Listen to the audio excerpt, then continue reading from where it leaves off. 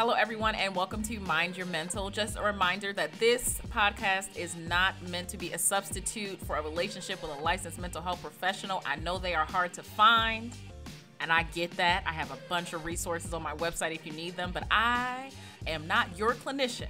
I am a psychologist, but I am not your psychologist. So if you need any specific help, please look for the help of a licensed mental health professional. Learn all you can learn from the podcast. Enjoy the episode. All right, mm. everyone. Welcome to Mind Your Mental. Today we have Bridget Kelly, New York City born, Grammy Award winning artist, and the inaugural signee to Jay Z's Roc Nation label, who also discovered her voice early. I love hearing the voice in the first place. Beyond her successful music career, she has hosted red carpets BET, appeared on TV shows for VH1 and Fuse, and has previously co hosted the popular podcast series See the Thing Is. Currently, she's involved in producing and launching other content series and podcasts like for better or best. How are you yeah. doing? I'm so good, so good. Basking in my newlywed bliss. Yes, I see you still rocking. You, rock, you rocking that white too. You just got I married. am. I'm still still and still feeling like I need to just be in in my bridal in my bridal glory right now. I just need to be do it eh, just completely exuding the bride life. That's exactly where I'm at. Yeah, yeah, very much so. When so this past, so our semester is wrapping up at TSU. I'm a professor, but we we did like a mental health, hip hop, and activism class at the Love request that. of my students because I teach like the Black Experience, and I'm just like we always do like a section on hip hop, but it never felt yeah. long enough, and I'm like yo, I could do a whole course on this. Mm. Like this could You really could. You really could. No, you really could. And if you decide to go virtual at any point, like I know plenty of people who would love to participate in that. Love to. It was really awesome. And I was just like, oh, I gotta, I gotta have Bridget on the show because when I be when I was listening to your podcast, like love the perspective. When we were talking earlier, I was like, I will tell you, one of the biggest things I heard from my students is like they were like, yeah, it's not the same. So like we started off early one of the things yeah. they said it in the beginning, like old school, old school hip hop, like them's the break, that's the breaks and stuff like that. They were like, these songs are too long. I'm not, I'm not mm. listening to all of this. and right. Then, like, and I'm like, okay, okay. But then as we transition and I'm like, okay, so what do you feel like your messages are when it comes to mental health and hip hop? And a lot of them were like, generationally, I feel like our generation has lost its way. They mm-hmm. they were mm-hmm. like, there are no messages. They acknowledge that. They good did. That's what I'm saying. Good for them. Yes, good for them. because good for them. I'm like, we did presentations the other day, and they did hip hop artists, and they did Lauryn Hill. One of one of the groups did Lauryn Hill, and it was so funny because one of the students was just like, you know, she was standing in her truth, which is really hard because they were like, she wasn't showing her body, she wasn't being explicit, and then at the end, she, they was like, she just wasn't being nasty for real. You know what I'm saying? And I was just cracking up because.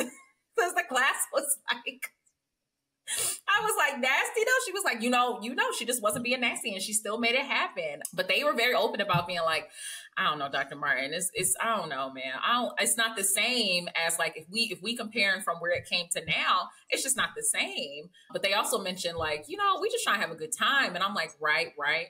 But what do you think the original goal of hip hop was? You know, because no one was having a great time. okay. Like we very much weren't no. being listened to, but they would listen to the music. And I'm like, so they, it, it was interesting because most of the time, you know, I feel like they feel like stuff is being taken out on them, but they were like, we ain't got no voice for real. We like to party, make money, get turned. Like, yeah. Mm-hmm. Yeah. Life has thrown different things at them in that generation. And I, I mean, I feel, I feel for them because I think we have, I think we have had, we've had a, a very unique experience, right? Mm-hmm. In, in coming from a whole generation of boomers who very followed everything pretty much by the book, by rote, and it worked out for them. Economically, it also worked out for them. And then my my generation, our generation, was the internet generation that was where it was introduced to us, but we were already we were already kind of on a track to follow some of the same sort of ideologies that our our the, our parents and our our grandparents followed. Mm-hmm. And so I just I think that this generation now, I wouldn't say they're lost. I just think they have a different idea of what they want their future to look like and mm-hmm. what the options actually are. I think my generation was probably the last group that was like, okay, we have to go to college. And then we all went to, and then everybody went to college and it was like, well, now, now we're in a recession. So there's no jobs.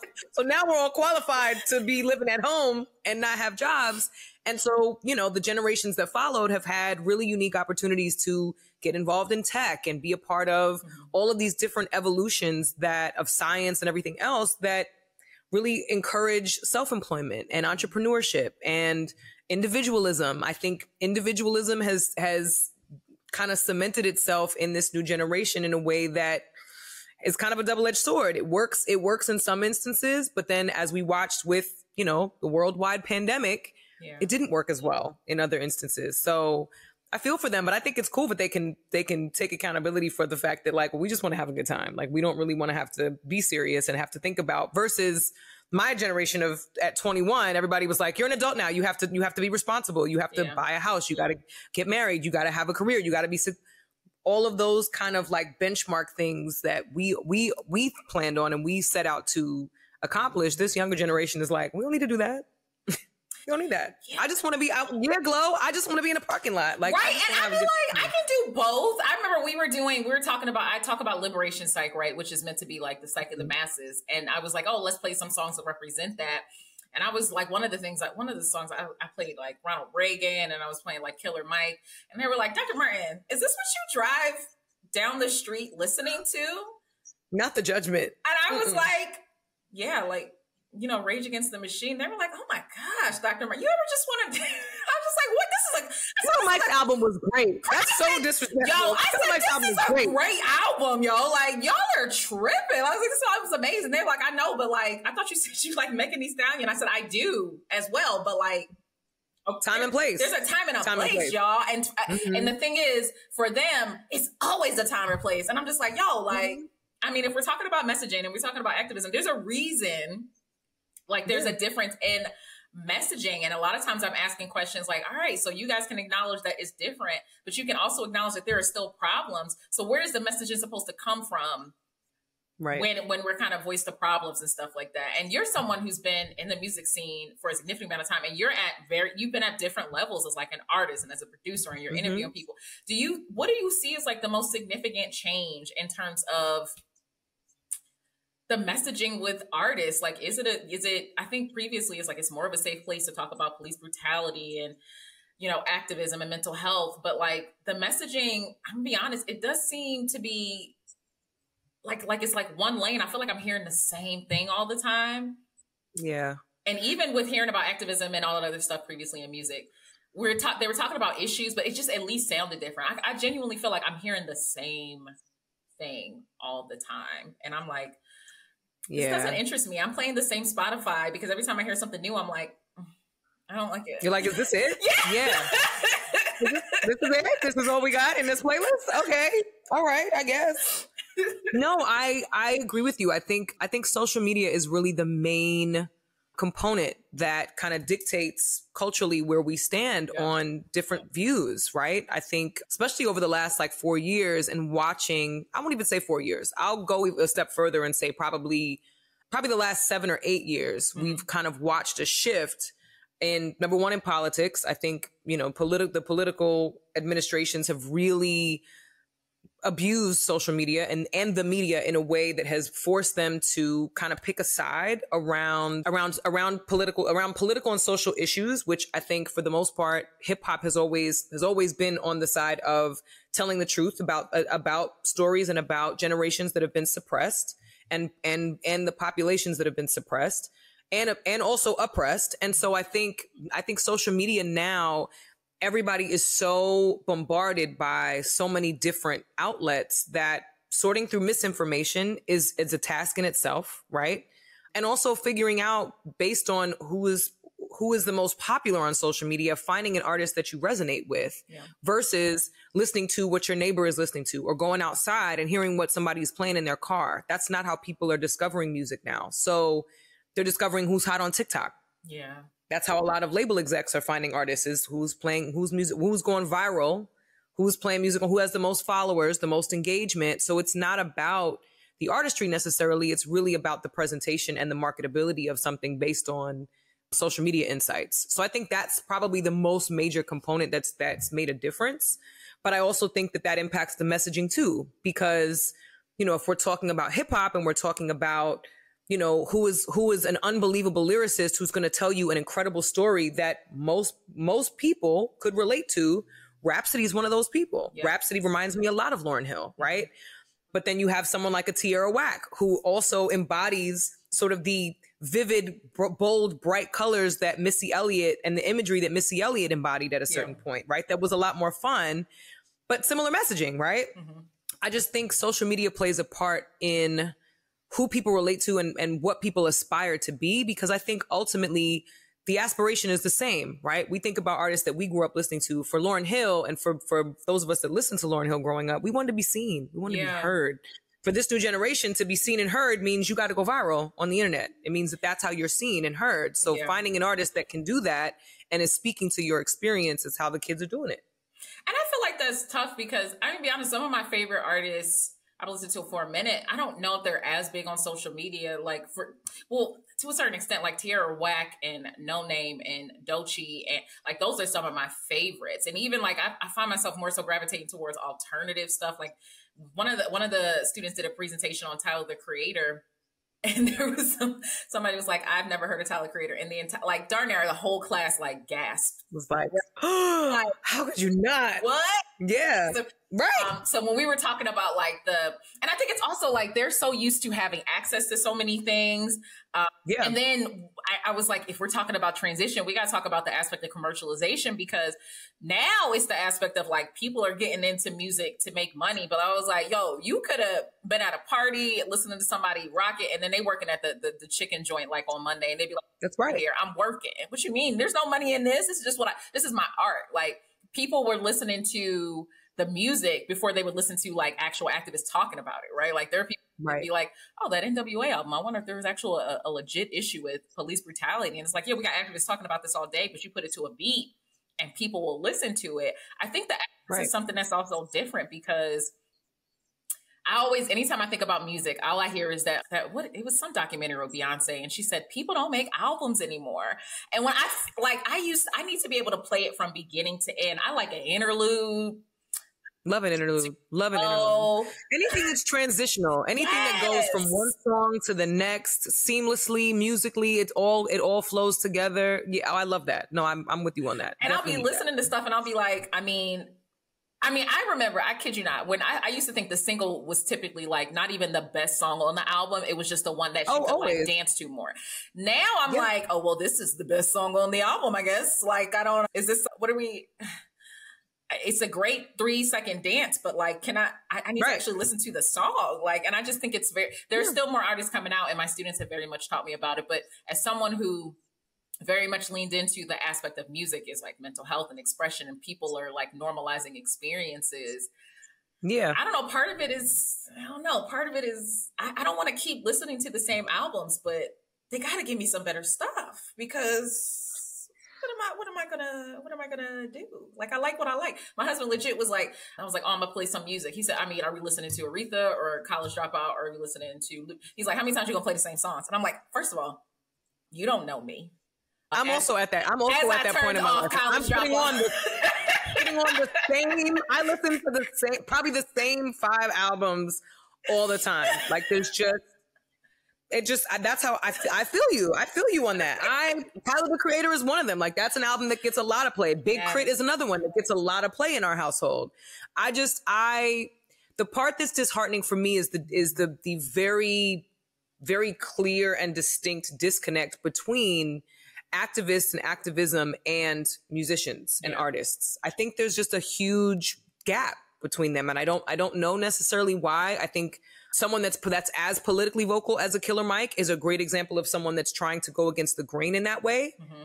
But then, you know, I, I think I think some of that gets undermined then by this belief or this stigma around wanting to be a celebrity politician or a celebrity activist versus yeah. really be a spokesperson. I think we we kind of it's unfortunate, but I think we have we've been conditioned to play respectability politics a little bit when it comes to like and this false modesty and kind of like self-righteousness around like well if we're doing if we're really doing this for the people then we can't be rich and be famous and be you know what i mean it's yeah. kind of I, I think when we get we start to get into that kind of weird pettiness it it totally undermines the mission of really trying to number one provide adequate information for the the upcoming generations that are that need to learn, that need to understand how their vote actually impacts things on a local level and then on a federal level, yeah. right? Like I think understanding all of that, it doesn't as much access as we have.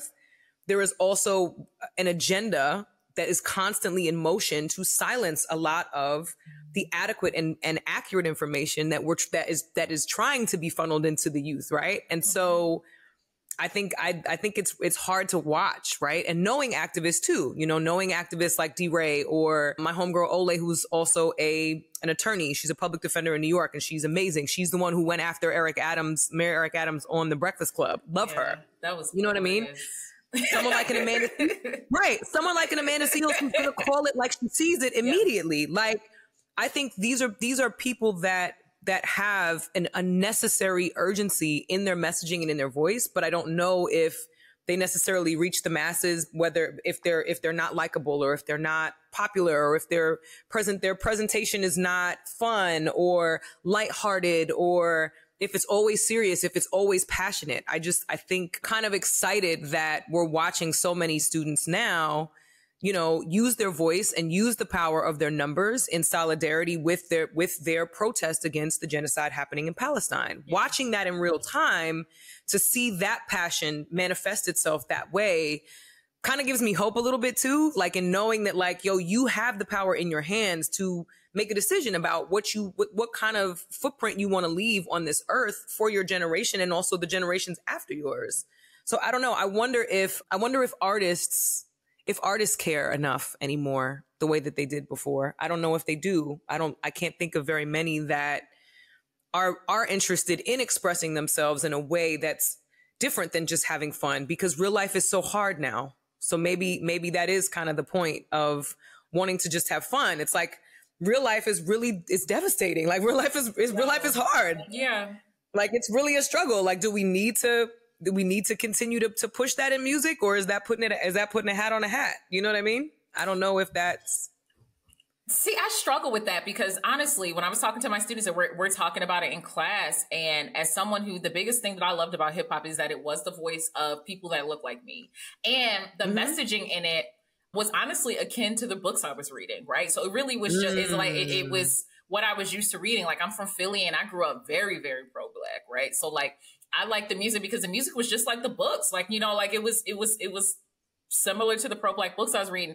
And a lot of, I was talking to my students about like, we asked questions about when can you separate the art from the artist, right? Like mm-hmm. we were mm. talking about, they, we were talking, we talked about different artists, like talked about R. Kelly and of course we talked about Diddy, but I was like, I, I gave, I was like, we talked about Afrika Bambaataa and we, ta- and I was just like, so when do we separate the art from the artist?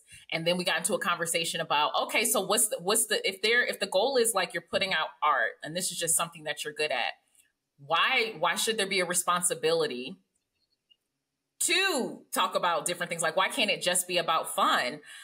And I honestly, it was a lot of back and forth because part of my class is like, well, because that's what it was brought up. Like, this is what our class is about.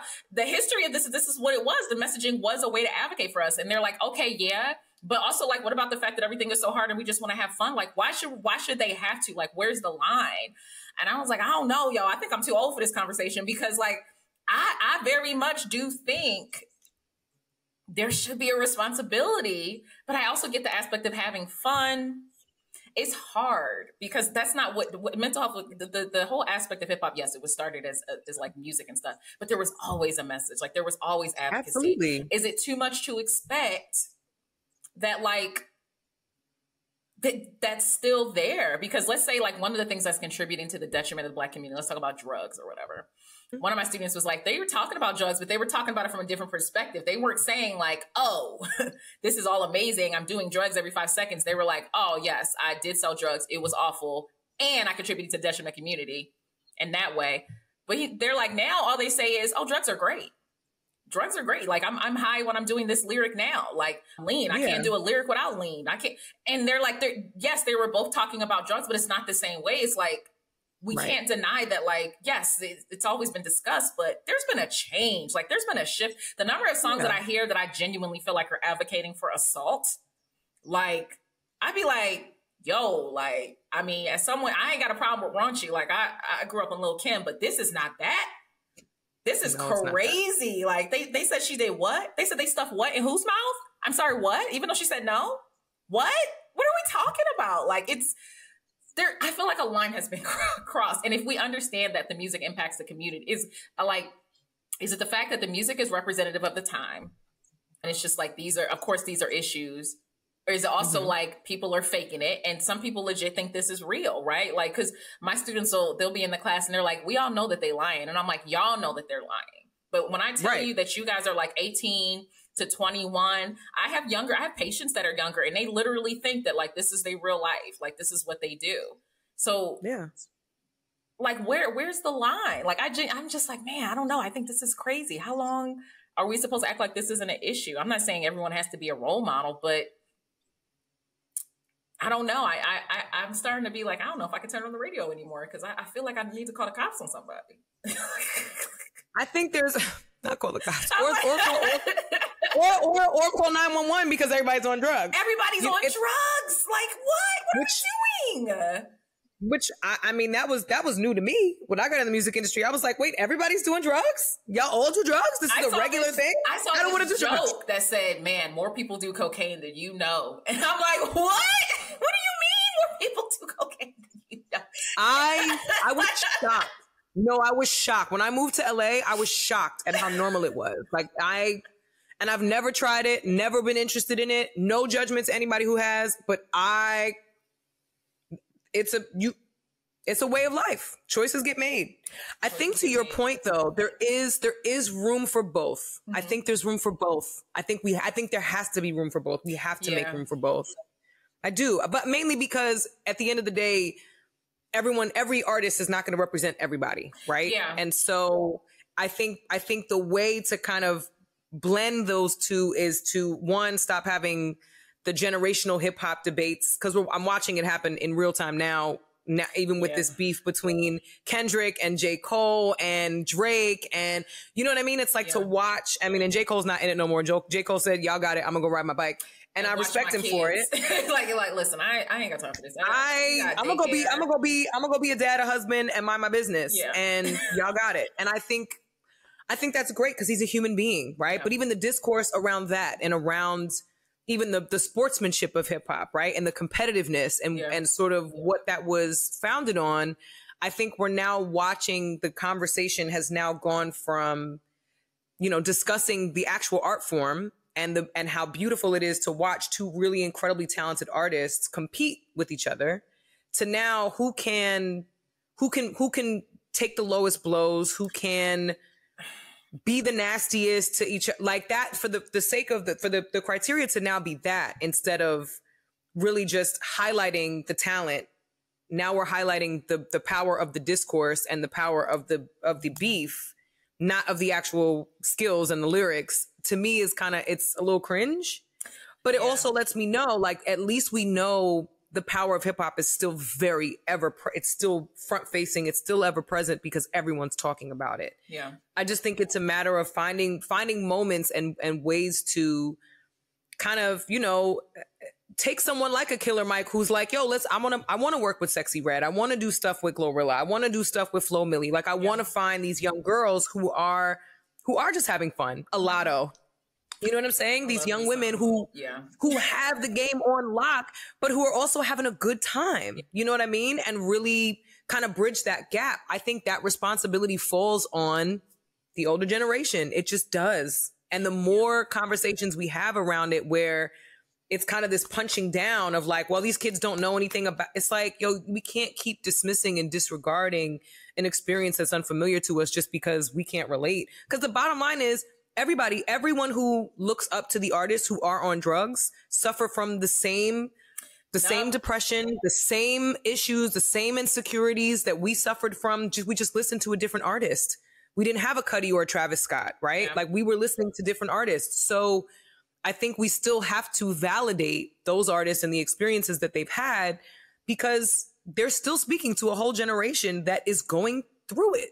Yeah. The kids are going through it. Everybody's going through it. Everybody's going through it. And I think the biggest issue is that like like the same way you mentioned like the aspect of showing like the power within the colleges. One of the things I always tell my students is like don't let anybody ever tell you that like y'all don't have a voice because y'all have more days ahead of you than we do. And I say anyone Absolutely. who tries to tell you that youth doesn't have a voice, they're trying to they're they're trying to convince themselves because y'all do have a voice. And when the students are going back and forth, they go back and forth a lot, but about the aspect of we were talking about sexual liberation in lyrics, and they they went to old school. They were like, oh, you know, Lauryn Hill, and they said like Nina Simone, and I was like, well, that's not you know it's all artists but i was like and you know you can also talk about megan thee stallion and you can also i said you can talk about all of these artists and for people who state that it's not for them well you're not the you're not the textbook demographic. Not everything's going to be for everybody but you can't invalidate right. that that's not someone's experience even when people are talking about the aspect of like discussing drugs and stuff like that. I just want some aspect of a balance because it's like all right yeah if you want to talk about like the the good of drugs, I want to hear you talk about the bad too, yo. Like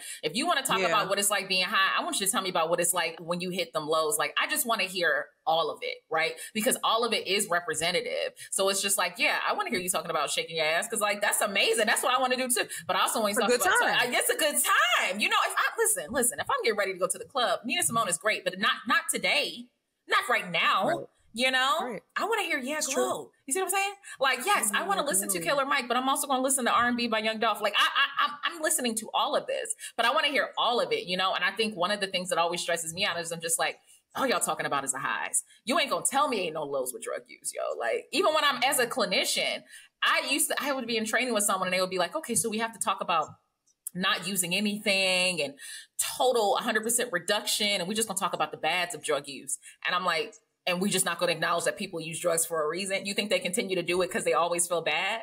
I used to be like, in training because it's there. We just we just decided to drink lean because it's there. Yo, you gotta make it. I you gotta mix it. Training. Gotta, like, like y'all just really folk. Y'all, this cannot be the future clinicians. Y'all really think that all you're gonna talk about is abstinence with substances? You will only talk about the negatives. You're not going to acknowledge that there's clearly a positive with using drugs. Like it used to, like literally being in training, I would be like, this is crazy. Y'all ain't never gonna work with people that look like me because y'all lying. You're not, oh, well, drugs are all bad. Okay, well, mm. if you literally want to mm. talk about substances, there's clearly some positives to drugs or they wouldn't keep using them. We can't expect right. someone to take you seriously if you're just being like, well, there are no positive drugs. They don't make you feel good. Um, they don't make stuff a little bit more fun. You just need to stop right. them because they're bad for you. I would literally be right. like, I'm being punked in all my training classes. Because like I would be like, you so we just expect them to just stop because it's bad for their right. health. They know it's bad for their health. They also know, they've you been, know, they've been told that their whole lives. They've been But... their whole lives. I just want the I'm just like, I want the whole story. When it comes to hip hop, I want the whole story. Like whenever they try to invalidate youth, I'm like, yo, man, like you this is always like a generational mm-hmm. thing, but you can't acknowledge yeah. that, like, okay, like, oh, you know, I don't want to see them naked. Well, turn it off, yo. Like, it's you you turned it on. Like, maybe it's not for you. Maybe we just need to hear the whole story because it is just like you mentioned. It's representative of mental health. What music and the art always shows the emotions of the time period. So the fact that Absolutely. like we're talking so much about drug use and they're talking about drug use and and sex and they're talking about some people legit clearly don't know what consent is. That's and I mean, abuse and abuse abuse there's abuse up and through all up and through it yeah that's indicative of the time so it's just like hmm I think this is a. I think we got to talk about this, right? Like, well, drugs are a lot of times they're numbing behaviors. What are, can we acknowledge the fact that these they're having a difficult time and they need a reason to party? I just saw something that said that the same generation that lost their prom because of COVID or losing their graduation because of the protests. Like, it's true. It's true. It's true. My bonus, my bonus son is graduating from college in a couple weeks. Yeah. And he didn't have a prom. He didn't have a graduation. None of that because of COVID. So thinking about that now too is kind of like think about how much life has either has either been missed out on or that's that's happened in a very haphazard way in the last four years without having with them without them having very little control over any of it. Yeah. As a as a licensed therapist, do you feel like when you come when you are talking to your clients and your patients about sort of the the the highs and lows do you feel like people are honest or do you feel like people give you kind of the the social media version of what of what they think you want to hear no i'm lucky that i think they're very honest but i think it's more so because of how I am. I think that the issue with some clinicians is like, I don't know. I, I have always felt like black people are very good.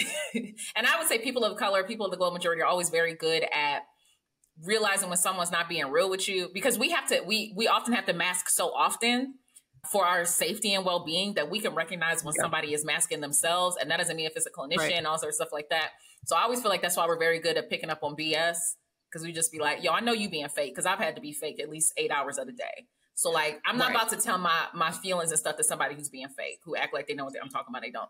I feel like that's it's just because right. how I am.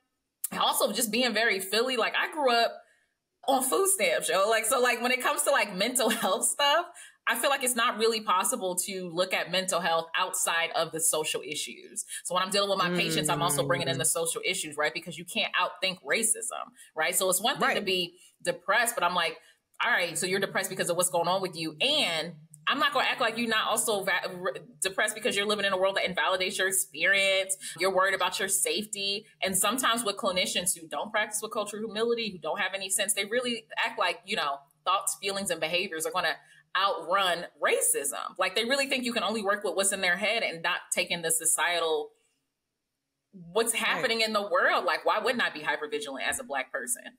Like there's so right. many places where I'm unsafe. Why wouldn't I be uncomfortable and feel like I'm an imposter in a, an environment that's not welcoming? What what kind of cognitive behavioral therapy is gonna fix that, yo? Like, you know, like that's not it's not drugs. a thing. Yeah, that's what I'm saying. Because even when they, talk about, when they talk about substance use, I was on this panel. It's like an expert panel about suicide in the Black community, and it's I don't think many people realize that suicide in the Black community has been increasing since 2019, and the biggest age group yep. is increasing is like age 13 to 25, something like that. And one mm-hmm. of the mm-hmm. experts in the room was like, you know, I think that it's hard to acknowledge the actual increase of suicide in the black community because although it's increasing it's even worse because you'll talk to people and they're and they're getting in gangs for protection or they're engaging in really risky and dangerous behaviors and you're asking them like you know do you care about your life and they're like no but they don't see that as suicidal but it is mm. so it's like it's not really possible to get an accurate representation of suicidality in the black community because i don't think that we're acknowledging the fact that the reason why there may be certain generations engaging in more risky behaviors is because they don't see a future for themselves that's right. suicidality. That's suicide ideation. Oh, yeah, I'll get the gun and do it. Whatever. If I go out here, I might die. Whatever. That's suicidality. It's, so it's not really possible wow. to get accurate representation of suicidality in the black community because a big group of youth don't acknowledge that not caring about the, what's going to happen the next day, engaging in numbing behaviors, because a lot of people talk about fight or flight, but there's also freeze. And freeze is like numbing mm-hmm. behaviors, it's sexually risky yep. behaviors, it's drag racing, it's doing drugs that's that's that's happening as a result. It's, that's suicide ideation, but they don't see it that way. They just see it as like you know everybody around me is like that. Everybody around you got a got a good justification for being suicidal too. I feel like it's not even even though we see that the numbers are up, like black people and their and suicidality is increasing. I think people would be just like just that just would be dumbfounded if they realize like these numbers are high, but they're not even as high as they should be. Because if you have conversations with people who think like I don't know. I ain't got no reason to live. Like, yeah, I mean, what's the big thing? We'll break into this house and do something. If I die, I die. That's suicide ideation, yo. That's a lot of youth.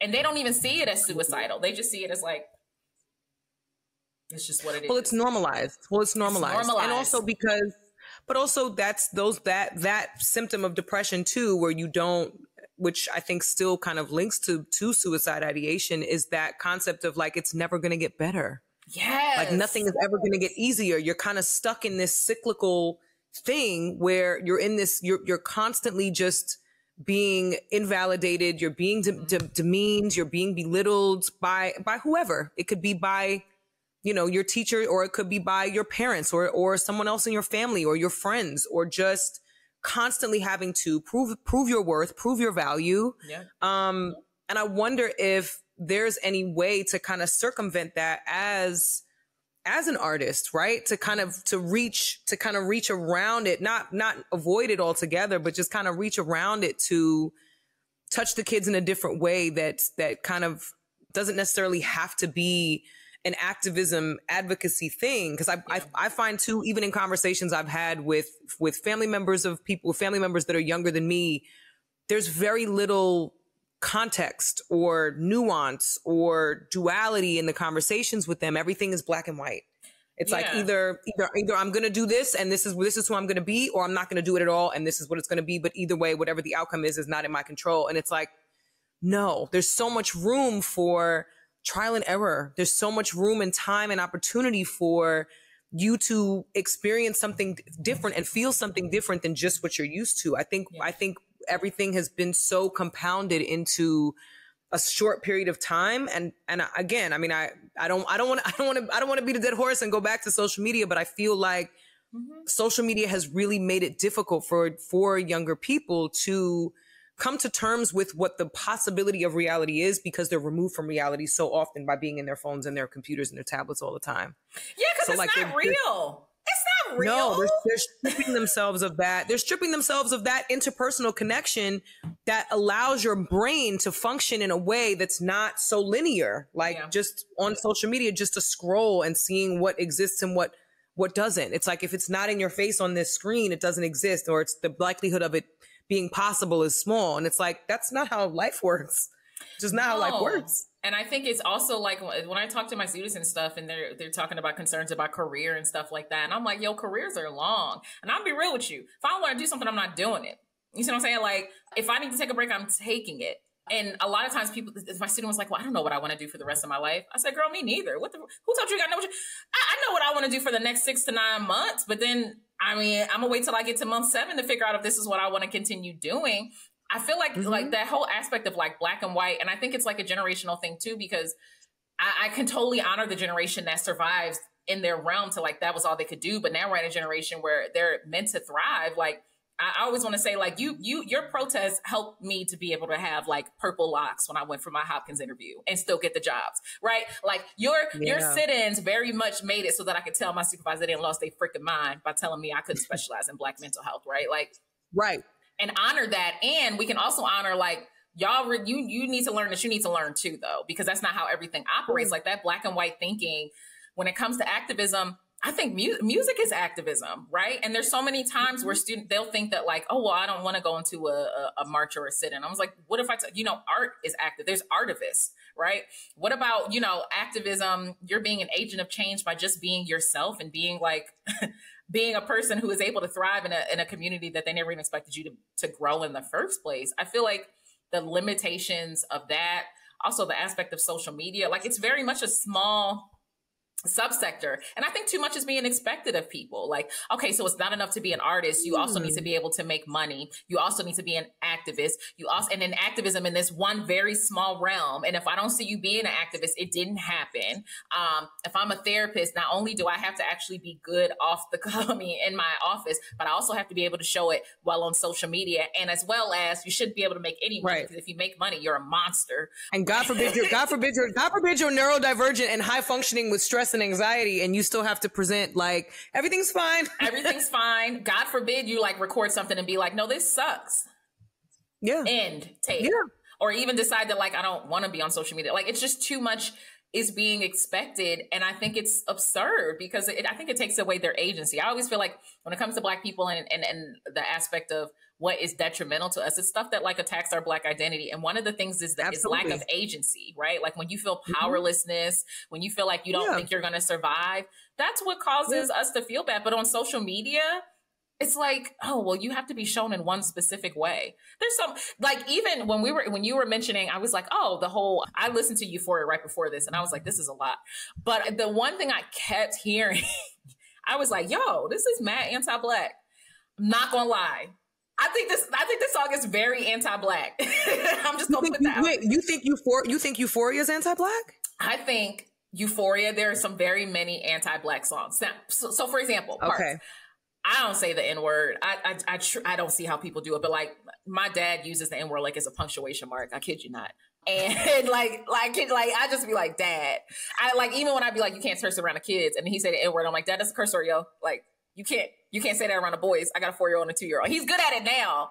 But as someone who some, like it took some conditioning. Yeah, mm-hmm. as someone who don't even say the N word, my I grew up with someone who uses it as a punctuation mark, right? I always felt like if you are black and you're having an experience, that is a black experience, right? I see this aspect of consistently questioning you know, whether someone is being voyeuristic with their black identity or stating that someone's mm-hmm. experience isn't black enough or you know, people who state that they're pro black, but really they're only pro blackness that mirrors their own. I don't mm-hmm. like that, yo. Like, you know, like I, I, I can't stand that. So like when he was talking, when I think it was some lyric about like, I don't even like when you say the N word. Now I don't know if I'm just now. I'm like, neither do I. But when I listened to it again, I was like, hmm. I wonder if he's saying that because he doesn't see him as a as a as a black person because one of his parents isn't black, right? Now, mind you, I only listened to it once, so I'm like, you know, yeah. at this point, I've seen think pieces on it, so I'm like, dang, I don't know. I think I got to listen to this five times, and I won't because a six minute song. This is insane.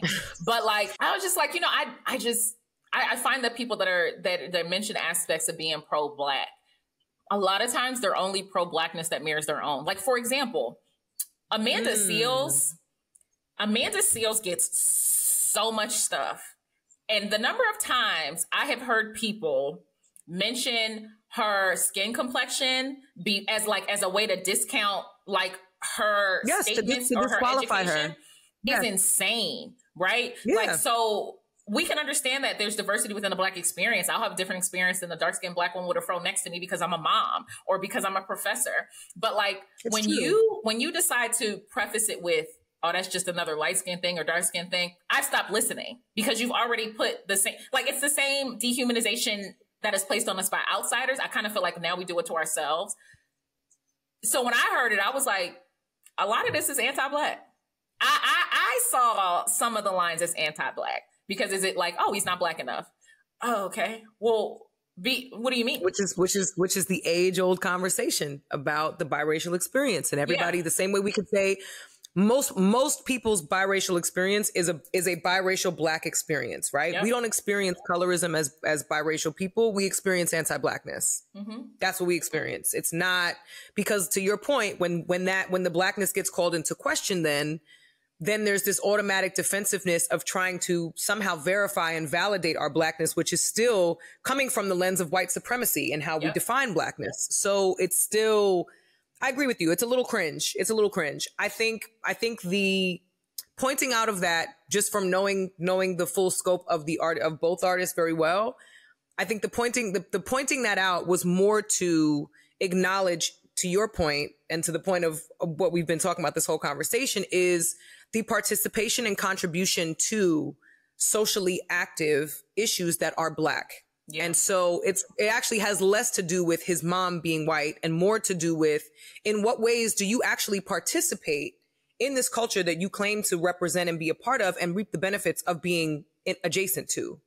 Right? Yeah. And so by calling that into question, I think is very different than questioning his blackness. I think the question is really how accusing him of cosplaying is very different than saying you're not black enough. I think questioning questioning the motives and the intentionality around how he participates in the culture is very different than saying you're not black enough to participate in the culture. But because we're now questioning some of the things, you know, Rick Ross had pointed out, well, he sent a cease and desist around a letter. There's certain things that culturally we now we will call out as Karen behavior.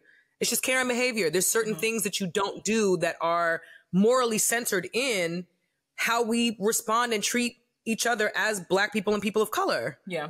That to that to me is kind of if you violate those kinds of codes, then it doesn't call into question your blackness. It calls into question your loyalty and and honorability in your blackness. And that to me is just a it's a slight difference than saying that he's not black enough because he's got a white mama. Like that's not J. Cole got a white mama. You know what I'm saying? Like I have a okay, white mom. But see, so okay, but here's the thing though. Okay, okay. Which which again is still think, very different. Do you think though, like the way you saw that, do you think everybody saw it that way? Or do you think there are a good subset of people that like, that's right, because his mom's not black. So he like do you like you know, like the way that you see that, right? The way you broke that down, do you think mm-hmm. that everyone who listened to it broke it down that way? Or there's a good chunk of people who also listen to it is just like, well, you know, he probably said that because one of his parents is in black, right? Like I can see what you're saying in that breakdown.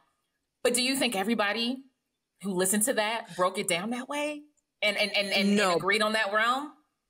I, the only the only reason I, I say with Drake that they that it would be hard to miss is because of Drake's consistent collaboration with West Indian, Caribbean artists and African artists, right? Yeah. I would say that and the and the and the imitation of accents in the music and Yo, the imitation of accents actually drives me freaking so, insane. so that in that so in that regard, like it's it would be kind of hard to miss that point. But I do think that part of it too is he's Canadian. And so a lot mm-hmm. of what we attribute hip hop to is the black American experience. Yeah. And so I think that that plays a part, unfortunately, because now we've, you know what I mean, enter enter all the xenophobes who are now talking about how black people in Canada don't have, you know what I mean? Where they're playing everybody's everybody's playing oppression Olympics automatically as soon as you say anything about black people yeah. in Canada versus black in America. But I think that that plays a role in it too when entering into entering into a realm and an arena with other with other black artists and black hip hop acts that are telling their stories and speaking on their experience it's kind of like to what we talked about earlier about the the soul of hip hop is in the relatability and the storytelling of your experience and if you as a biracial man are speaking to a generation of young black kids or what which again if you go to a Drake concert it's a mixed bag. Any of the biggest hip hop artists, it's a mixed bag. And so who they're speaking to, they don't have any control over. That thing I will, that I will say, artists don't have any control over who their audience is. Yeah. They can decide who they want to speak to, but they can't decide who's going to buy their tickets. I look, I think Lizzo is a perfect example of that. Lizzo is a big, beautiful, boisterous black woman. She is speaking to, she is giving space and creating space for more beautiful black women to be themselves unapologetically, very vocally with all their talent and all their grace. Mm-hmm. And yet we go to a concert and I looked around and I was like, it's a lot of middle-aged white women and gay white gay men in here. It yes, was not it was not a lot of and you can't Lupe. choose that. You can't choose it because I've gone to a bunch of Lupe concerts and when I tell you there is not as many black people as I expected to be. And I've only ever seen him in DC. It's not. I've only ever seen him in Chocolate City. But I kid you not, like every time I go to Lupe concerts, because I'm a big Lupe fan, I'm like, the first time I went, I was like, yo, that's not, uh, this isn't what I expected to see. And my husband was like, oh, yeah, yeah, this is his, yeah, this is, this is exactly what I expected to see. Now, my husband's seeing Lupe for forever, but like, you can't, you can't control it.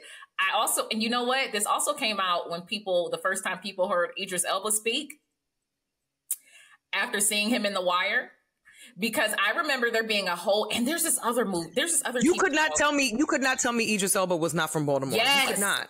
There's this other. You could show. not tell me. Is it Snowfall? Probably with Damson Idris. Mm-hmm. Yes. Okay. Mm-hmm. And I remember having this conversation go around a lot because I can't remember the celebrity, but it was a big black actor, not big like physically, but like he actually mentioned the fact that for American, Black American roles should only be given to Black Americans. And I forget who it was because I remember being surprised and being like, whoa. I think a lot of people are actually going to listen to uh, that. But the, it was the same thing like with the mute, like the, when you said that about Canadian experience, I was like, this reminds me of when a lot of people were like, so what you mean Idris ain't, what you, I went to it. I heard Idris yes. talking. I was like, and people were pissed, you know, like legit and like that and, and, and i was just like hmm it's interesting because people i think people feel the same way about these these these roles i just saw an argument. I forget i forget somebody who posted it but they had mentioned the fact that ice spice got a role and it was a pretty big role in a movie. And i was like oh okay. But i was surprised that there were so many comments and all the there were a lot of the comments were actors and actors being like i went to school for this. And we're at this place right. when you mentioned like social media where celebrity Mm-hmm. is going to like because it's about the money aspect. We want somebody who's going to put butts in the seats, right? Like the aspect of celebrity is going to be more important than talent. And then the thing is that that kind of irritated me about it was like I don't know what her acting talent is. Like we can't make an right. assumption about right. what her acting talent is. And I can right. also acknowledge the fact that like we can also see all of these actors and actresses where we don't have to guess about whether they're good at it. We know for a fact that they're good at it, right? So we're right. at this aspect with like social media. I think it happened with music because if you don't have a good tick, I saw some artists talking about like if I don't have a good TikTok song, apparently that's all my record label cares about. And you have the aspect of the social comparison with social media. Even in mental health, I will tell you there there are mental health accounts that they're mental health advocates. They're not licensed mental health professionals. Somebody will listen to them before they listen to me because I only have like 350k on Instagram. They'll be like, "Well, I'm quoting this person," and I'm like, "Hey." I just want to just give a heads up because I know it looks like this is all, this is what I do, but like I actually I, I teach not only full time as a HBCU, I also teach the clinicians. I train your clinicians. I also see patients. You can also look up my citation. I I, I know what I'm. I know I'm. I know they have a million followers, but You're like, qualified. You're qualified. You're qualified. qualified. You're qualified. You're qualified. And I'll just You're be qualified. like, the celebrity thing. I think I think people care more about the celebrity and the, the and the power of celebrity than they do mm-hmm. about the, the the quality of the content, right? And so to your point, I really I really do think that we might be asking too much of people. We might be asking. I think we are asking too much of people. to a certain. I think extent. we're asking artists to be. You know what I mean? It's like we're asking we're asking artists to be more than they're slated to be. Some really are only slated to be celebrities, and that's it. And that's all they have the bandwidth okay. for.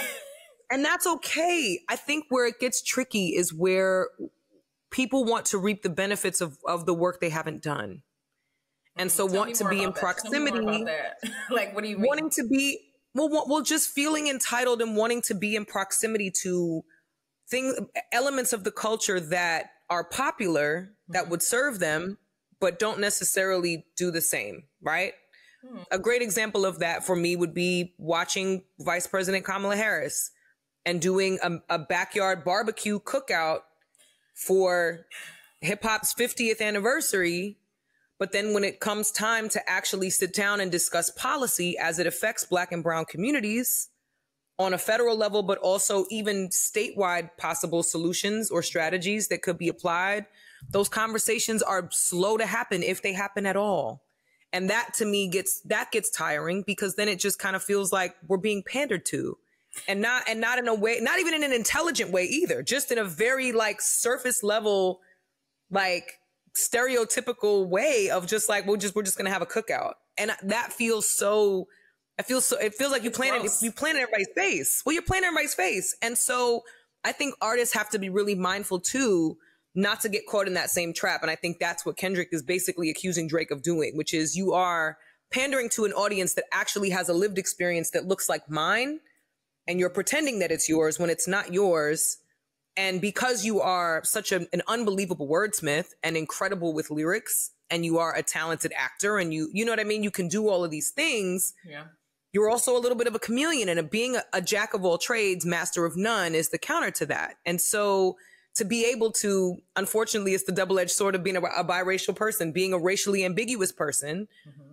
We can fit into spaces that we may that we may never belong to which which is which puts additional pressure on us to constantly have to reinforce the things that we are and the things that we are not. Yeah. And whether that and some of that is a some of that can be associated with blackness and some of it isn't. Some of it is just to your point could be down to hair texture or you know the color the, the color of our skin whether or not our mother is white or black and we're biracial right like all of those things i think still play a part but i think we ask a lot of people to when they show up as eh, to ask them to be their full selves at all times, be be approachable, be vulnerable, be transparent, while at the same time reckon with not ever being safe. That's a tall ask. And I and I, I think a lot of people don't even acknowledge the fact that like it is a safety issue, right? Because one thing I always state when I'm like, people don't take like biases and racism and prejudice seriously enough because what that does is severs the safety of an environment, right? Like bottom line, I'm unsafe mm-hmm. now. Like you, you racist, like, oh, I'm unsafe because I don't, I don't know what that where that's going to land. I don't. I don't, I don't know. Where, I don't know where the line gets drawn if there no. if, if racism is present and then it's not it's in, even in in being that aspect it's like we want you to be transparent we want you to share who you are there's always there's also this undertone of like but who you are needs to fit into mm-hmm. what who i think you like what it should be like it's it's like it's not it's not accurate. Like it's like, oh, we want you to share. I made this joke about my when my students. I was like, you guys, they they called one of my my class the students sassy because he said something. She said something crazy to him, and he said something back, owned it. And he she was just like, Oh, okay, sassy. And I said, Oh no, that wasn't sassy.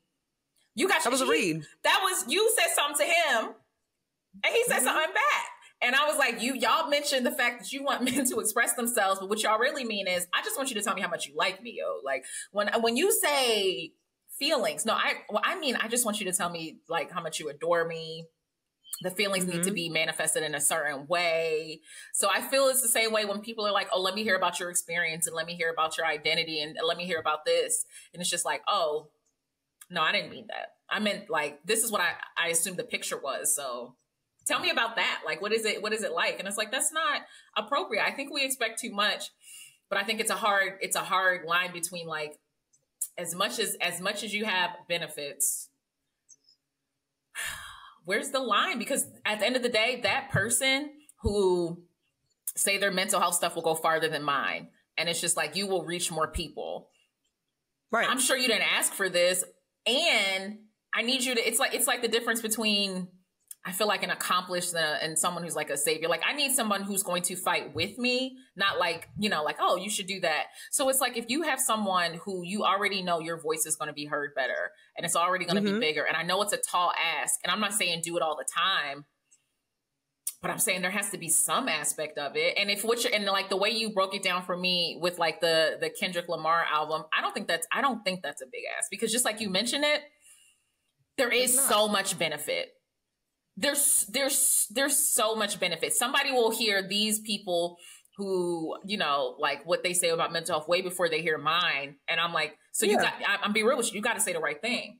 You got to say the right thing. Like you can't if you're going to be heard more. What's the message that you're getting? Oh, just think positive thoughts. That's you can't do that. Like there is a there is a kind of a no, no, sir. Yeah. No, ma'am. No ham. No turkey. You can't. No, I, I, I was rooting for you. we were all rooting for you. you I think the two, the two, the two most important entry points I think to have to start having more of those conversations is one, the safety conversation. Mm-hmm. If that's the entry point off rip, inquiring and asking how to how what makes you safe, what makes you feel safe. Yeah, that automatically brings somebody's defenses down off rip. And so once you bring someone's defenses down, you can start to actually have a have a dialogue that is meaningful beyond just what the intensity of the emotions are because I think everybody is everyone is feeling everything very intensely right now. Yeah. And most people don't have the words for it. They don't have the tools to kind of express where they're at with certain things. So I think leading with like, well, what makes you safe and what makes you you know what I mean? How do we how do we make sure we're all safe in this conversation, right? Listening to that Shannon Sharpe and Amanda Seales conversation, knowing what she had been through. it's so long. It's so long. And even when they I saw that she was going on gas, the show, they gaslit, they gaslit, they gaslit each other the entire time. Yeah, I was like, this is really kind of like. It was not. It did not it did both of them a disservice, in my opinion. It I don't think everyone should interview everybody. I don't think everyone should interview everybody. And as someone who's still like, yeah, who's like, it's like, oh, I want everything to center the black experience and want to have conversations. I also think there are certain realms where I, I I'm I'm not in a space to have conversations with everyone. But I, even when I saw that they were having a conversation, I'm like, oh, this is very, this isn't equally yoked at all. You know, like I don't think, I don't know how much, and I, I think that we, we're only as educated as the narratives that are shared. And I think that there are certain times where we are done a disservice because someone's star power allows them to get interviews where somebody else may ask better questions, right? Like I, I, I look at Franchesca Ramsey and she talks a lot about like to be a good host, you have to be able to say yes and. And there are so many questions yep. that we want answered, and people. Mm-hmm. Like there are people whose emails I like I'll email people and I'll never get access and I'm like, yo, you talk about black mental health and like I'm be real with you. I'm the best person to ask you questions about this. Now, other stuff, maybe not. But like you'll I'll see these big interviews and I'm like, this is not I think we certain people deserve better conversations because even with music, the one thing I will say about even if I don't identify with all the music and even if I think it's too intense, it the one of the things that a lot of people get, like when my students were talking about, is like this normalized an experience I didn't think anybody else was having, right? So you may not be able to actually meet that person, but you can watch that interview or you can listen to that track. Like the biggest difficulty with mental health is like there's not enough resources, but it's isolating to think you're the only person experiencing this. And I feel like we deserve better conversations, but some people have so much star power that like I think it's great you're at what you're doing, but everyone shouldn't interview everybody. Like, cause it's like I haven't seen it, but I saw some clips and I was like, I don't like this. And I, every time I go to hit play, I'm like, I don't like this. and I right. turn it off. And so, and so the second the second entry point for me, if safety is not the first entry point, then the second entry point for me needs to be what does course correction look like for you? Yeah.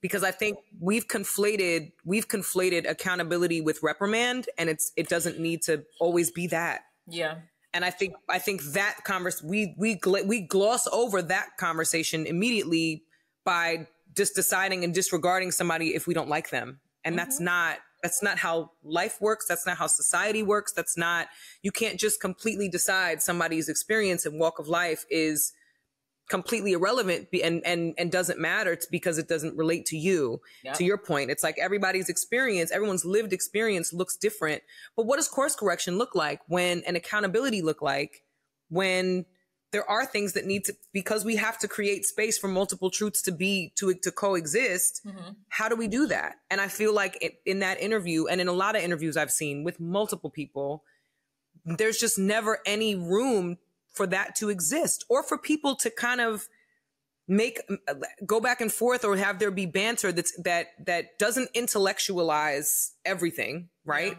for the sake for the sake of sounding smart but also still can kind of create small moments and small pockets of vulnerability and safety for people to say i just i don't know. I don't know what accountability looks like because i'm just really hurt right now.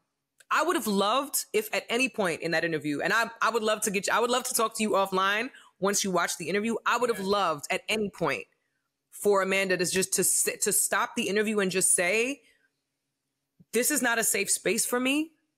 Like a lot of spaces have been unsafe for me, and I don't have the tools outside of the defensiveness and the hurt that I've experienced to give you what you're asking for. Cause she's smart enough to arrive. She's smart enough to have arrived there. Yeah. So I think to to stop, I would have stopped that interview. I would have not continued that interview. I would have I would have said, hey, I'm just continuing to feel unsafe here. And, I, and it's a pattern that has made, has, has totally limited my ability to, to be self-aware enough in this space to actually acknowledge the ways in which I could probably do some things differently or approach some people differently and without without invalidating anyone else's experience without without belittling her own experience and the own and the and her and her own pain and and and discomfort that she's felt in a lot of spaces, black spaces. For uh, on top of that, yeah. I just think we have we have not. To your point, people, everybody doesn't need to interview everybody, but I think as human beings in general in the talk space, none of us create enough grace. We're we're we're everybody's best judge, and we're our own best attorney. We know how to defend ourselves against yeah. everything, but we don't know how to create room for anyone to discover for themselves what growth looks like for them and what that needs to be.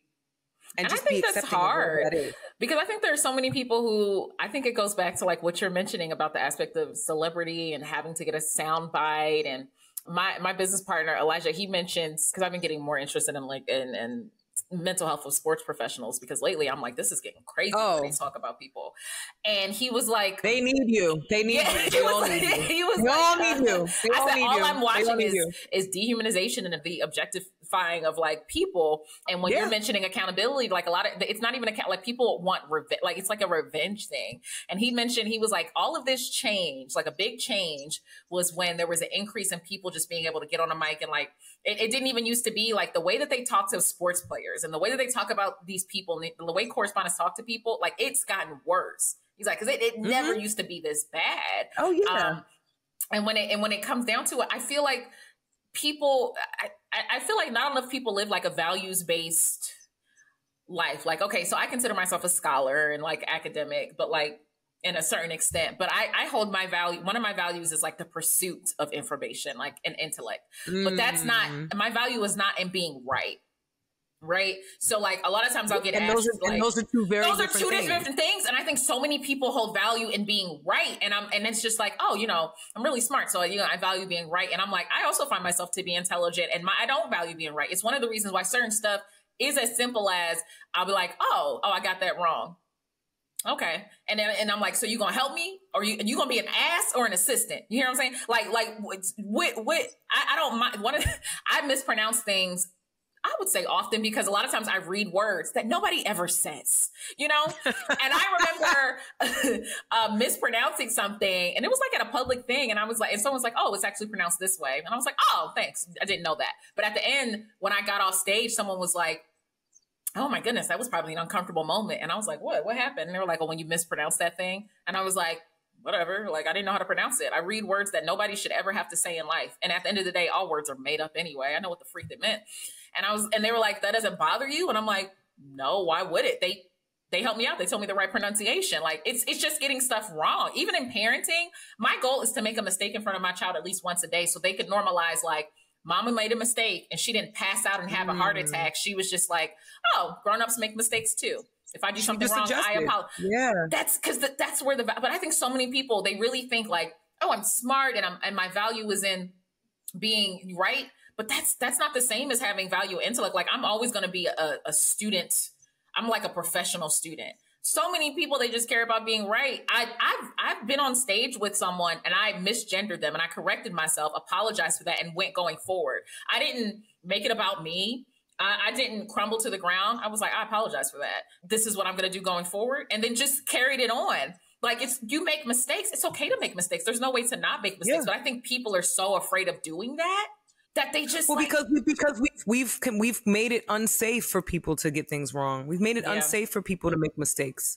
We haven't we haven't we haven't really given people enough opportunity to get things wrong and then get things right. That's why I was like, yo, what does course correction look like? What does that yeah. what does making an adjustment for you look like?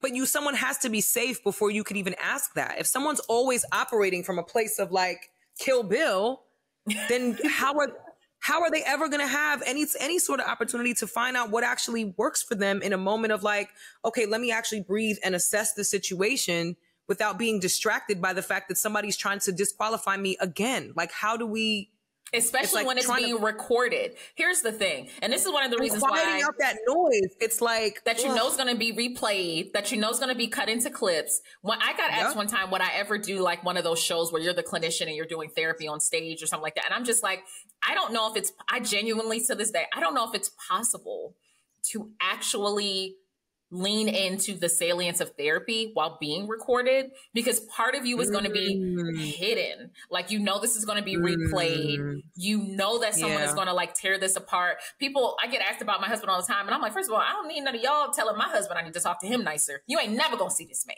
Okay. Because when you let certain people in to certain aspects of your life, I'm like, I don't need y'all telling him that I need to be nicer to him. He's happy where he is. You will never see this man.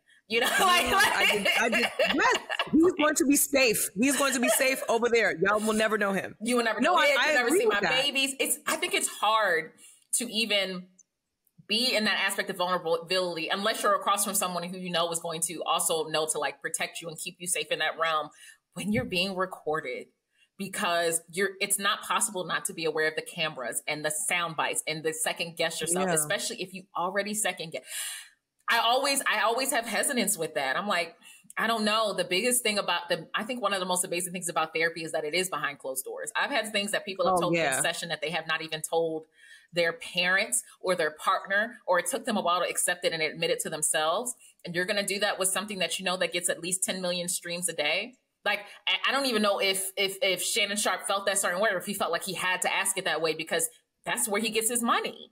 That's where he gets his money. He said that Katt Williams interview was more than he he made in like one round. So I'm always just like, I don't know. As someone who is still practicing, like I'm still a, a clinician, I don't know if it's possible to do that unless you're across from someone that you know is going to protect you and keep you safe in that realm, right? Like unless you're across from yeah. someone who you know, and that's not going to be every interviewer. Like it's not like that's Definitely not, and that's also not where you're getting it. From. I just don't think it's like okay so say if i did that interview because uh, our our last podcast episode is amanda talking about being diagnosed with autism. And our and I, the whole conversation i'm like how did you feel being diagnosed with that? What was that experience like for you? Like it, that was that was that was it. Having that conversation i included some more expertise and stuff like that. And i feel like if i from the clips even just looking at her face i'm like how she does not look comfortable like, and I'm just like, what did I miss? And then I'm looking at the clips and I'm like, oh, every single clip I've seen is him being, I, I don't, I just, every time I'm like, I don't like this. I don't like it. And I've seen Shannon Sharpe when he talks to, what's that guy's name? Ocho Cinco. They're clearly buddies. Yeah. Even their demeanor, like, even that, you can tell that they're both safe with each other because you, you know, like, it's yeah. just like, I think interviews are, you're supposed to like have some aspect of safety. And yeah, like, just like you mentioned, like, that was, and I also see how she I always see like how she wants to she wants to provide this aspect of like people.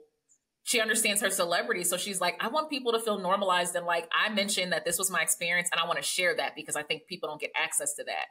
But I also think sometimes I, I very much think like you know some spaces don't deserve you. Some spaces just don't deserve you and it's okay to say that. Like you know what? Just like you mentioned like I no longer feel safe this this just, is not I'm a gonna, safe I'm gonna interview. Just exit. This doesn't. This just this proves my point. Like at some point, I was expecting her to be like, "This entire exchange proves my point about the fact that like this entire exchange proves my point that that black spaces are not conditioned to create safety for me. Yeah. Or you know what I mean? And I, I mean, I, that can be true. I think, I think that is, I think that has been widely true. I think the concept that somebody has to be likable in order to be successful, especially a black woman who is beyond qualified to have the conversations and occupy the spaces that she's occupied. Yeah. I think all of that, I think all of that is true. I also, I also do think that there is room for some more self awareness work on that side. I, as far as the diagnosis goes, I haven't. I've seen a lot of mixed clips, so I don't. I don't want to necessarily. I don't want to speak ill informed about what I've. Someone said she wasn't. She wasn't actually medically diagnosed. She self diagnosed based on something. Some of the some of the tests and stuff that she's seen online and different conversations she's had with professionals. But I do think that there is a. At some point, you have to prioritize your own safety and not do it in a way that that feels not do it in a way that that that protects your ego, but actually protects the well-being of your soul and your spirit.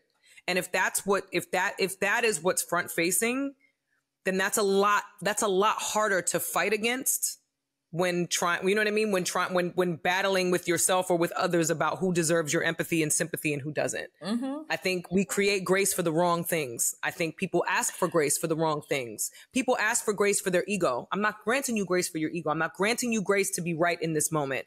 I'm granting you grace to say i need to remove myself because i'm i'm disturbed i'm emotionally dis- this is emotionally disturbing for me and i'm having a hard time processing that there's accountability in that. There's also a boundary in that. Mm-hmm. It makes it, it makes, it makes, it makes the, the truth of the standpoint of where she is impenetrable. Yeah. Like who's going to argue? Who can feasibly argue with that at that point?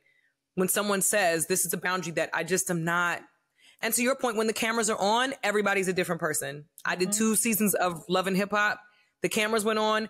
Every everything that might have been discussed off camera on the side could go totally left as soon as the cameras come on because now there is a there is a you, there is a, a, a need for perform for performative behavior, but then there's also a need for defensiveness, and then there's also a need to protect the protect your ego and the presentation that you're making, which I think in our industry becomes normalized. That's more normalized than saying emotionally I'm not safe in this space and I'm just I'm gonna go home. I'm gonna take my things and go. Yeah, just go. I'm gonna go. and it's, it's not respected.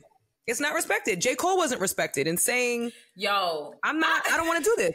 I don't want to do this. Hey, this was not me. I, this is not who I am. I don't want to do this. I don't want to engage like this with y'all. Yeah. That wasn't respected. He prioritized not only his mental health, but also his emotional safety, mental safety, and all of that. So again, we're asking men, we're asking men that, that we're supposed to revere in this space. We're asking them to be to to be vocal and say it with their chest. That man said, I'm out of here. I'm not safe. I'm not cool. I'm not comfortable with this. This is not who I am. Yeah. With his chest. And that still wasn't enough. I think people. So really we got to do better at making, we got to do better at figuring out what safety looks like and how to provide safety for each other. Cause that to me is the biggest misstep. I feel like if we can figure out and people can kind of custom, we can customize what safety is for every person that we are trying to respect and come and engage with I think that's that's probably the first step to actually getting it right. And not having to be right, but just like getting that part right. But yeah. safety is paramount. And that's going to start with people acknowledging that it's okay to change your mind. I, I very it's much okay think people are like, I, I, saw that whole backlash with J. Cole, and I'm like, all I see is somebody who said, I, I, I feel better looking at myself in the mirror. I care more about how I see myself than how y'all see me. That's all I saw. Like, imagine, mm-hmm. imagine. I remember thinking, like, imagine getting mad at somebody for saying, like, I don't like this part of myself in this scenario, and I'm not going to do it anymore. What's wrong with that? Yeah, I don't want to. I don't want to engage like that. That's not. That doesn't. Like, that doesn't. That, does, that doesn't feel like a. That doesn't feel like a good use of my power yeah. or my celebrity or my attention. It just doesn't feel like a good use of energy. Like I remember being like, you can change your mind, y'all. It's it's, it's also okay for. And I think this is why, once again, I think y'all more people need to be comfortable with making mistakes and like changing their mind. I have literally said like, I don't know enough about this topic to talk about it. What do you? Mean? I just said it. I, I don't mean, know. You, I'm, you not, I'm not. I'm not. I don't know. Enough, I don't know. I don't know enough about about a medical diagnosis yeah. of neurodivergence. I'm not. I'm not familiar with it, so I can't. I'm not going to say what's what's real and valid and what isn't. I can only say what I've seen. Yep. And what I've experienced personally. And that's all I can my behind you. out here sounding like a moron. I'd be like, listen, Absolutely you're not gonna you're not it's gonna make me feel bad for saying I didn't know something. I do not know enough about this topic to talk about it from a, a educated perspective. So I'm gonna come back when I do, or I might not come back at all because I honestly I don't know more about this topic. It's not, I don't, I don't particularly care. You know, like I do certain things. I'll be like, I don't, I don't particularly care, yo. I'm, I'm over here thinking about doctor's appointments. I haven't, it's, I haven't eaten. When is the last time I bought, you know, like I'm buying my kids new pants when I feel like I've been wearing the same jeans for years. I don't care about this. And it's okay to say that, like, or, you know? I'm actually not an expert in this, but here are some resources for people who are. People are so, it's, y'all just, it's okay to not know everything. You're not supposed to, but you just, or feel like you're going to miss out. Like, well, they're going to go to someone else. They should. You don't know what the freak you're talking about, yo. Why would they go to you? It's okay to say you don't know. I don't know. You think I should know that? I don't. People are people are afraid not to know, or people are. Well, I think it's one or the other. I think people are either afraid not to know, or they're way too comfortable not knowing and they're way too comfortable not knowing and spewing whatever comes to mind about it because we just can and that's the age that we're in right? Like i'm i'm cringing. I'm gonna watch it because i, I feel like i need to watch it because i need to know what i need to know what i'm gonna message you after i watch it. said. if it makes me mad i'm gonna be but, like what the flip? Oh no you're, no you're gonna be you're gonna be mad. You're absolutely gonna be mad. Well you're gonna be mad you're gonna be mad from from a, from a clinical point of view because there's just no way that you can watch this and not therapize the, the, the scenario. It's why I don't watch a lot of stuff. It's very hard. like I'll watch, like I will literally like watch things and I'll just be like, I just, I just don't feel like this is productive. I feel like there's a better way to come at this. I feel like I can see it's cringy when people start getting guarded, and I'm like, you've complete. Like I can, I, I like when I watch stuff. I was like, I can see the moment when you lose somebody. Like you may yeah. not see it because you continue to ask the question. I'm like, oh, you just lost the connection that you have with this person because I think that could have been said. It's hard for. It's why I read more than anything. It's hard for me to watch stuff and be a normal person. I hate how much I think yeah. y'all. It's exhausting, but I can't turn it off. Listen, I, I'm relieved. I'm relieved that the the part that the part of my the part the the season of my career of talking about some of these current event things is kind of over with because I I feel like if if if my existence in this in the talk space is mm-hmm. only to report on the things and not necessarily provide any sort of different perspective on it, then I feel like I'm doing myself and my audience a disservice mm-hmm. if I don't have a strong enough opinion on something or if I'm not if I'm not picking a side. Everything is about picking a side yeah. Like even down to the Amanda Seales discourse, I don't, I, I, don't, I am on the side of all of the truths existing at once. I'm, I'm, that's the side that I'm on. I'm on the side of yes, black media outlets have absolutely been nasty to that woman and she deserves better. I'm on the side of yes, she absolutely deserves to have a space and a seat at the table because of the amount of information and the amount of advocacy, passionate advocacy and information that she spreads on a daily basis for black people. Mm-hmm. There's a need for that. I'm also on the side of she's probably been really atrocious to certain people. And there's there may be whether it's neurodivergence or not, there may there may be a need for some of that introspection in order to get that that that aspect of some of these people's experiences right to remedy some of that. There's room for all of those things to exist at in, at once. Yeah. And I think media it's media has especially black media unfortunately has decided that the sweet spot is to be in that divisive space where it's either one or the other. We're either team Kendrick or we're team Drake. We're yeah. either, you know, we're team, we're, we're team this person or team that. We gotta be, and it's just not, it's, it's so beneath what I think media outlets are capable of, especially considering a lot of people that I know personally that work in media have journalism degrees. Yeah. So we're not, we're not, we're not just dealing with people that, are bloggers or started a blog or got famous on Twitter. We're talking about people that really study this. We're talking about people, to your point, like yourself, who are infinitely curious about obtaining information and being able to share that the right through the proper channels and do it in a way that is still enticing to across generations, whether it's a kid in high school who maybe doesn't who doesn't necessarily have the attention span but will try yeah. Or somebody that's that's stuck in their ways that's a little bit older. Like all of that stuff to me is like wow. It's it's it's a little bit I think we're we are all granted an opportunity to expand and go wider instead of deeper. I don't think I don't think any any other media outlet needs to try to go deep with conversations. No interviewer needs to be going deep. I'm gonna watch the Drink Champs. I'm gonna watch I'm gonna watch the Eric Adams Drink Champs interview because he's always outside. He's everywhere but where he needs to be, in my opinion, being a New Yorker. So doing interviews like your boy is on a press run, he's on a promo tour, he's you know what I mean? Like he's at the family reunions. I he's doing he's doing all of that. Everywhere while, but while where he University needs to be I legit everywhere but where he I think I'm going to be hearing that all day. Like, yo, yo, what are we? So, so I'm going to watch it because I think it's. I do think it's important to be in the know about what's being said. Yeah. But I also am am relieved that we. I, I would. I'm going to continue to implore media media outlets and personalities that I know personally to create space for for less depth because we don't need to keep going deep. Deep deep the deeper we go, the more we end up talking in circles. If I'm saying, and, wider, and, losing people because like it's like you guys are going people. deep and nobody's ready. Like you know, like this is like you guys are going to level twenty. We still got people at level one. Like why are we? We can't keep you. No, we need to go wide instead of going deep. We need to we need to we need to we can we can afford to keep things a little surface for the sake of emotional safety for the sake of preservation of of information ac- accurate information right? We can try to minimize some of the manipulation of of information and facts that goes on. Mm-hmm. so i mean that's that's that's my newfound that's my lane. That's where i'm pivoting from outside of podcasting now. I'm hosting and doing all that kind of stuff but i think anything else i'm going to do in the in the talk space would be like this where it's like well how can we yeah. How do we reach how do we reach more people in a more meaningful way or maybe not even more people? How do we reach the people that we just have access to in this small pool appropriately so that everybody feels enriched in some kind of way?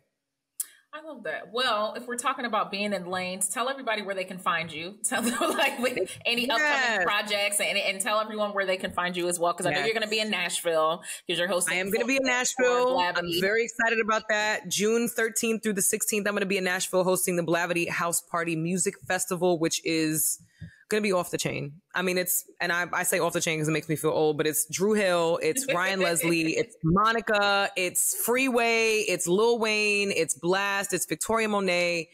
I, I mean, who else? I feel like I'm leaving a bunch of people out. Shenseea, Uncle Waffles. There's going to be so many incredible artists and acts that are taking this over, and I'm really excited to be hosting it. It's myself along with Zach Fox who's also an incredible comedian. I don't know if y'all are familiar with Abbott. If you watch Abbott Elementary, then you mm-hmm. would have seen him. He plays yeah. Tariq. He plays Tariq on Element. He's brilliant. But so he and I are hosting that, and then I'll be at Essence Festival. I'm gonna. I have to. I have to give the full scope, but I will be in New Orleans for Essence Festival in the convention center with Coca Cola. So that's going to be really exciting. All all three days, and for Better or Best podcast. I'm producing that show. Charles Kirk, Charles and Shireen Kirkendall. They're in an they're in an unbelievable couple that is they're tech entrepreneurs. They are on black, they were on Black Love. They are talking about friendship, entrepreneurship, marriage, family, balance, all the things, trying to have all of the things while also still keeping God first, trying to love each other, not kill each other, and and continue to expand their empire. And so that that actually is a weekly a weekly podcast. They drop every Wednesday, so definitely tune into that. It's called For Better or Best Podcast. And follow me at I am Bridget Kelly everywhere on Twitter and on Instagram. I'm not on TikTok. I just I I just I won't I won't subject myself to the rabbit it's holes really that I would end up down. Right? Like I just know, I just know myself. I know myself. I know myself. If I go on TikTok, I will be there all day, completely immersed in DIY type of projects for my house. I don't need it. I don't need it. So yeah, my mom is on TikTok me. now, but it's only because to follow me. But like yes, she, I, she'll be doing new recipes and new books. Yeah. And I'm like, where you find out about this TikTok? And I'm like, okay. Mind you, I had to force her to be on there because she's like, oh, your aunt told me you posted this video. How come you didn't send it to me? I'm like, because it's on. It's on. I'm not gonna send you social media videos, mom. That that's why they're on social media. I'm not gonna. Re- just just just just follow just me. Follow you me. just gotta follow me, mommy. Just you don't have to follow me. anybody else. And now she does, and she's like, "Yeah, I got this new recipe off of TikTok." I'm sure you did, girl and it was delicious. Yes, right. I'm like, mommy, I told you you would like her. it. Just listen to me. Like raising your parents is hard, you know. Like she swears she's grown. Oh. But that like, is another episode in itself. We, that is another episode in itself. It's, it's very interesting. My mother, my mother just decided to go to therapy this year. This yeah. is she is this is she's done it. She's she's done like she's done it in spurts when there's been like some traumatic losses when her you know dealing with grief or that kind of thing. But it was like a burst and then stop. So this is the first time where she is going on a weekly basis, and it's turning out to be.